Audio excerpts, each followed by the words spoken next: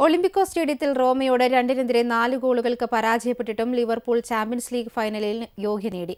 യോഗ്യത നേടി. ഇരുപാദങ്ങളിലുമായി ഏഴ് ആറിനാണ് ലിവർപൂളിന്റെ ജയം മത്സരത്തിന്റെ ഒൻപതാം മിനിറ്റിൽ തന്നെ റോമയുടെ ഡിഫൻസിലെ പിഴവ് മുതലെടുത്ത മാനെ ലിവർപൂളിനായി ലീഡ് നേടി. എന്നാൽ പതിനഞ്ചാം മിനിറ്റിൽ ജെയിംസ് മിൽനർ സെൽഫ് കോൾ വഴങ്ങിയതോടെ റോമ ഒപ്പമെത്തി. ഇരുപത്തിയഞ്ചാം മിനിറ്റിൽ വിസ്നൽഡം ലിവർപൂളിനെ വീണ്ടും മുന്നിലെത്തിച്ചു. ആദ്യ പകുതി അവസാനിച്ചപ്പോൾ ഒന്നേ രണ്ടിന് ലിവർപൂളാണ് മുന്നിട്ട് നിന്നത്. എന്നാൽ അൻപത്തിരണ്ടാം മിനിറ്റിൽ ഏതൻ സെക്കോയിലൂടെ റോമ വീണ്ടും ഒപ്പമെത്തി.